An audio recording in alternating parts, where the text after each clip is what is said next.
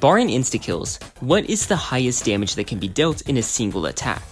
Let's go in order of the lowest maximum to the highest maximum per game. To start, in Frontiers, Dante's Silver Bullet deals double damage to werewolf enemies. That's 640 already. A Totem of Weakness increases that damage by 40%. So in total, it deals 896 true damage.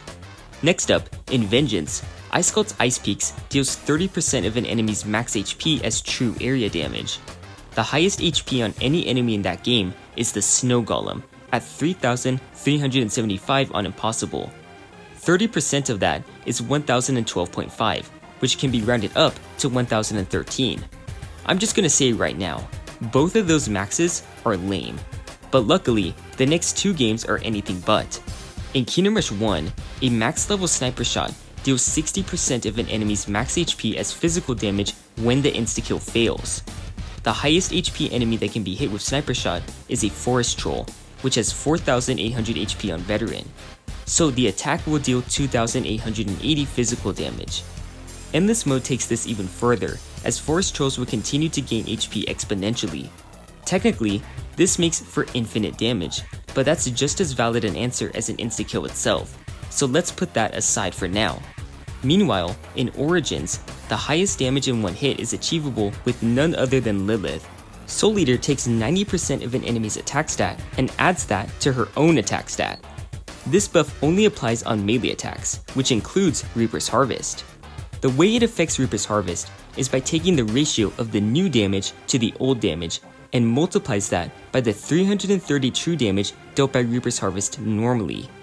Although enemies gain HP infinitely in Endless mode, they stop gaining damage once they've tripled their original output. The highest damage that an enemy can deal is a Twilight Golem in Endless mode with 360 to 540 damage.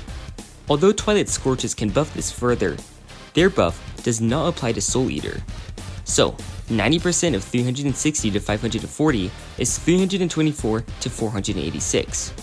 Add 17 to 25 and you get 341 to 511 damage. This is about 20 times Lilith's original damage. So taking 330 and multiplying it by 20 yields 6,600 true damage in a single attack. But it doesn't stop there. The Horn of Heroism doubles the damage of allied units. So not only does she get 682 to 1022 damage, making her the first hero to break the quadruple digit threshold for damage in the series, but she also now deals 13,200 true damage with Reaper's Harvest. For the record, an enemy in Endless mode needs more than 22,000 max HP for Sniper Shot to beat Reaper's Harvest under these conditions. If these numbers don't impress you, you probably have brain damage.